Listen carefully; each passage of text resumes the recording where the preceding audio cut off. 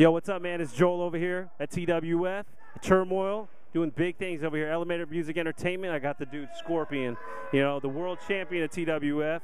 I found him right before he's about to go on stage over here and get on the get in that ring and beat the shit out of Carney Craig. You know what I'm saying? Here we go. Say something, man. Tell him.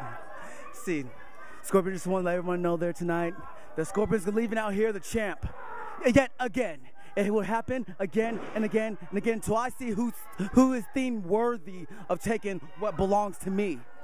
Everyone, everyone in the backstage wish they can be this guy right here. But it ain't gonna happen because I am the man. I am too damn good, and there is nothing, not nothing that anyone can do about that. That's what's up, man. I'm telling you right here, TWF, you're missing it. YouTubers, follow us, subscribe, get on this, man. Get your ass out of here, Sacramento Colonial Theater. Peace.